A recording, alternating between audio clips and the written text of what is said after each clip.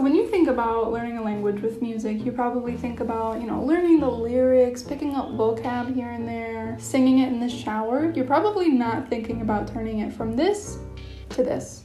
Over the years, I've developed a way to study songs that, you know, gets so much more out of it. It's basically like studying literature. You know, you get vocabulary, pronunciation, practice, idiom, and slangs so that you don't just have to be like a casual listener. Recently on Instagram, I posted about how, you know, in Portuguese and German, studying music has been a huge success for me as someone who always prioritizes wanting to speak like a native. I'm of the belief that music and audio media in general is the quickest way to that goal. So without further ado, let's talk about how I use music to study languages.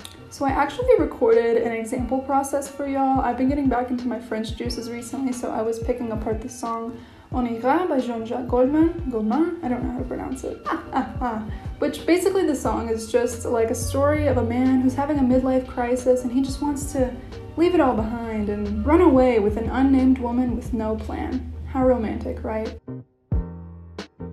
So the first step is song selection. This might seem like an easy one. You know, you just pick a song that you like, but you can't just pick it on a whim. You have to evaluate it as a study material if that's your intention with the song. Like, for example, if the song is overly poetic, it's probably not going to serve you best if your intention is to, you know, extract words and phrases that you can use in everyday conversation. An example of this is the song Il y a, also by Jean Jacques Goldman. I tried to study this one before I moved to On ira, but it was talking about like joys and miseries at the back of a cemetery and like times past. It was, you know, I was I was not gonna get what I thought I was gonna get out of that song. And it's because I did not go through that process of evaluating it as a study material and I was just like, ooh, I like this song. Don't do, Don't that. do that. Don't be, Don't like, be like me. For another example, if the song is overly repetitive, you're probably not going to get that much out of it. Maybe like a few key phrases and that's it. So if you're studying English, do not pick Stupid Ho by Nicki Minaj as your study song, you feel me? As much as I love Nicki, I've literally been a Nicki fan since like Trey Songz Bottoms Up back in 2010, but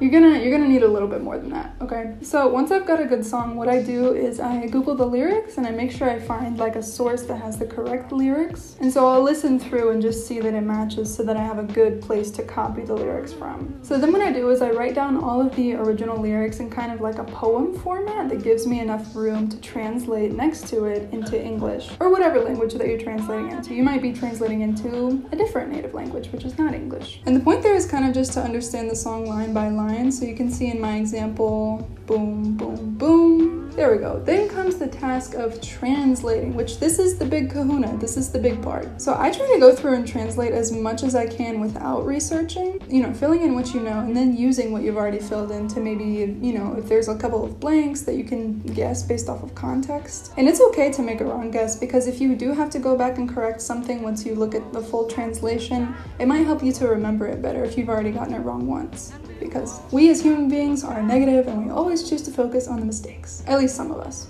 So when I eventually do have to go and look things up for the translation, my favorite translation resources are WordReference for individual words, uh, reverso context for like phrases or maybe like sentences that you don't recognize, because it's a translator that pulls sentences from the internet where it finds that phrase and then it'll translate it for you. Do not use Google Translate. Literally, that has to be like the last, last, last resource possible. But then if you really can't find the meaning, a website that I find super, super useful is Lyrics Translate, which is this website that, you know, allows people all over the world to translate languages into whatever song they want. So you can look there to see if the song is available. It might not be because keep in mind that this is like a community project website, so it's just individual people translating. So not every song is going to be translated. And in that same step, Make sure to double check if you go on Lyrics Translate because you know people learn languages, it's not always perfect. So for double checking, it could be an app like HelloTalk, which is where you can get peer corrections and advice, or it could just be with a language partner if you have a language partner for the language that you're studying. Just make sure just make sure to be thorough and you know search around and poke in different resources until you know, you piece together a full translation. Because honestly, when I do my translations, it's probably like 40% my own brain and then like 30% WordReference, another oh god, I can't do math. Another portion, reverso context, and then just like the rest is a la carte advice or like questioning friends and stuff. So it's kind of like the translation comes together as a patchwork of a ton of different resources. And that's why this is such a good exercise because it's very, very involved, you know. Then after I've translated and I know for sure like which words I do and don't know, I'll go through and highlight vocabulary. And this could be one of two things. It could be you know, vocabulary that's completely new, or it could be vocabulary that I maybe knew a little bit and want to review because that is just as important. You wouldn't want to waste any like effort that your brain has previously made to learn something, right? So maybe it's like a word that you know you've used before, but with time maybe you've forgotten it or you're confusing it with a similar word, something like that. And when I highlight it, I'll do it in a color that specifically means like, hey, this is vocabulary. So for me, in this case, it was pink because I'm a girl and girls like pink. Kidding. So some of the words in this case with on ira was retenir, uh, l'autoroute, and se ressembler, which, you know, I try not to highlight literally everything that I don't know because not every word is super relevant and I, realistically I don't need to know every single word at once because if it's a really important word and it's dire to know I'm gonna come across it at some point. I think that's just like a general advice I would give for vocabulary is literally do not try to cram so much vocabulary all the time because if a word is important you're gonna run into it again period. Also, I try not to highlight so much because research has shown that, you know, your brain can only process and retain maybe 15 new words a day or something like that. Luckily, in this case, though, I ended up with exactly 15 words, so go Elysse. So what I do from there is I'll take all the words that I've highlighted and I'll write them either at the bottom of the page if I have room or on a new page and I'll write it next to their translation in English. And from that point on, what you do with the vocabulary is literally up to you and your learning style. So if you want to like, I don't know, write down 15 sentences with your new words or make a bunch of Anki flashcards just with the translation and the word on both sides. Or maybe write like a small paragraph off the cuff trying to use all 15 of them or something like that. This is where you can get creative because I don't think I ever use like the same process after I get the vocabulary because, you know, I know, I just like to keep it fresh when it comes to vocabulary because it can get really, really, you can get into a rut very easily, I feel, with vocabulary. So mix it up, do what's best for you. Those are just some examples of stuff that I've done in the past. So next I go in for grammar structure. In this case, I was highlighting in blue just to find like structures or maybe phrases that had grammatical topics that I either didn't know or that I wanted to review. So it could be as simple as a pronoun, it could be like a tense or a mood, it could be a syntax change or something like that. It could be really anything that you qualify under the category of grammar. So, for example, some of the grammar related stuff that I highlighted when I was studying on ira was uh, il y a que, which means there is only, with the que being the key word there grammatically, uh, ne plus, which is a time structure that means not anymore, and uh, because that word was in the subjunctive mood, and I really, really need to review the French subjunctive. So, in this case, with this song, there wasn't any grammar topics that I had literally never seen before, so I just went through in the margin and wrote like short explanation reminders of, you know, what this is, why it is, how it works, stuff like that. But if it's a topic that you don't recognize at all and you need to like actually learn it, I would suggest dedicating like another half page or a full page to it separately. And a tool that I love for reviewing and also just learning grammar in general is Lingolia, and they are not sponsoring this video, but honestly, they should cut me a check from how much I use their site already. I swear to God, people sleep on this site so much. I never see people talking about Lingolia, but it's such a nice website with a lot of um, grammar exercises,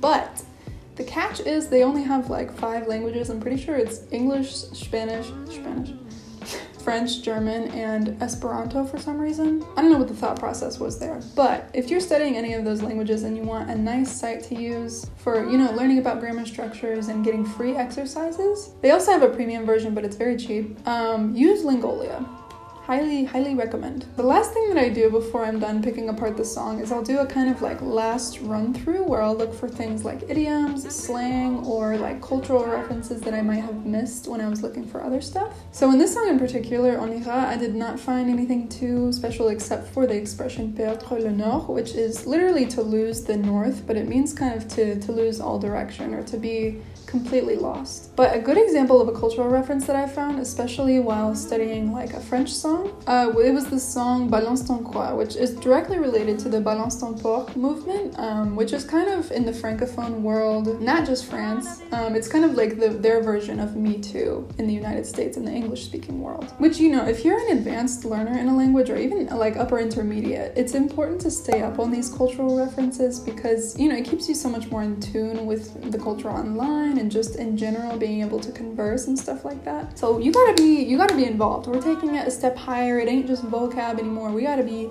invested. So once I've done all these, once I have like steam coming out of my ears from all the brain power I'm using to translate it and to, you know, use a close eye to look for all these cultural references and stuff. It's time to just relax and listen to the song. Now that you have the lyrics in front of you, it's nice to listen to it, you know, and actually know what's going on. You have the words in front of you and you know what everything means. So like try to get it stuck in your head so you can sing it in the shower, you know, go send it to your other friends that speak that language or maybe language partners. Or you could go share it online with the language learning community because, you know, people are always looking for cultural recommendations like music and movies, so you might have something to bond over by sharing. Just do whatever, like get get the most out of it. You gotta juice it like an orange. Every drop counts. And honestly, there you have it. By the time you're done, it's like a fully picked apart study material that you could use for like a week to study, you know, and that could be with your language partner or language tutor. It could just be solo study. I like to think of this form of study as kind of like meal prep. So, you know, at the beginning of the week, you cook a large portion of food that you can eat on for like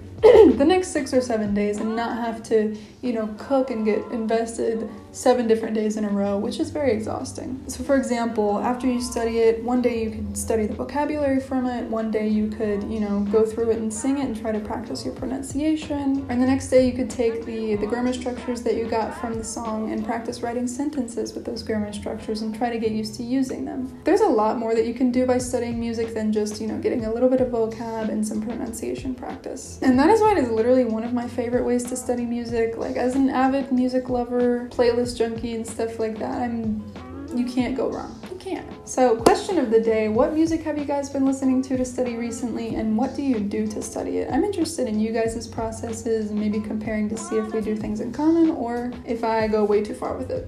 But I hope this video was helpful. I hope that you learned something new and that you can get a lot more out of your music study now because with language learning, you gotta look for an opportunity wherever you can. I will leave my social media if you're interested in following me on Twitter. It is Elysse DaVega. On Instagram, it is Elysse Speaks. So, Thank you so much for watching. I'll see you guys soon. Take care and happy listening.